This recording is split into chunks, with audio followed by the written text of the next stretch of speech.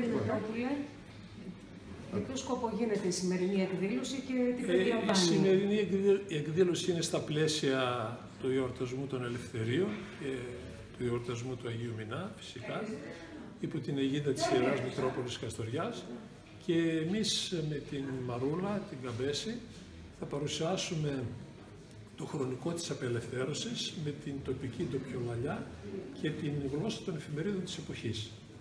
Και φυσικά μέσα από εκεί θα αναδειχθούν κάποια γεγονότα, ένα έτσι ε, αφηγηματικό το οποίο το λέει και θα σας μιλήσει και η ίδια και εγώ δεν είμαι έτσι τόσο ειδικός πάνω σε αυτή το, το πιο λαλιά να μιλήσω, θα σας πει η κυρία Γαμπέση ε, την εξέλιξη αυτού του χρονικού. Μάλιστα. Πολλοί από τους συμπολίτες μας, τους Καστοριανούς, θα αναρωτηθούν ε, γιατί με την Καστοριανή ντοπιολελιά. Ε, για μας είναι ένα βίωμα. Ε, μεγαλώσαμε μέσα σε οικογένειες που εξακολουθούσαν να μεταδίδουν αυτό που μάθαναν από τους γονείς τους και από τους παππούδες τους. Οπότε, όταν είσαι ένα μικρό παιδί στη δεκαετία του 50 και στη δεκαετία του 60, ε, έχεις ήδη ε, αποθηκεύσει ένα μέρος από τα λόγια αυτά.